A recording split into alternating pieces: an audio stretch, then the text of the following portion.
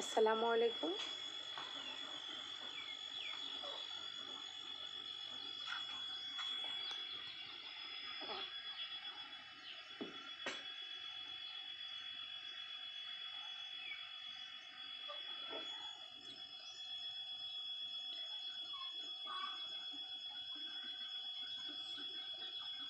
আমার দেশি মুরগিগুলোকে আমি রেখে দিয়েছি আর যেগুলো মোরগ, ওগুলোকে আমি জবাই করে দিয়েছি।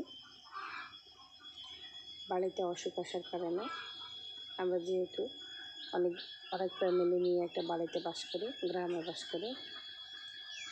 সেখানে কারও মুরগি অসুস্থ হলে বাকি সবাই সচেতন হয়, তাই আমি আমার ওই রাতা মুরগিগুলো জবাই করে দিছি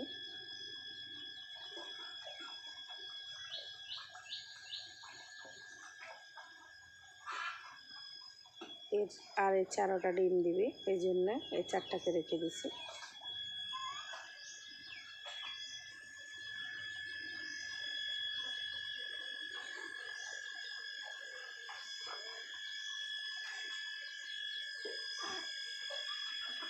তো এগুলো কিন্তু ডিম দেওয়ার সময় হয়েছে। ডিসেম্বরের দিকে ডিম দিবি ইনশাল্লাহ।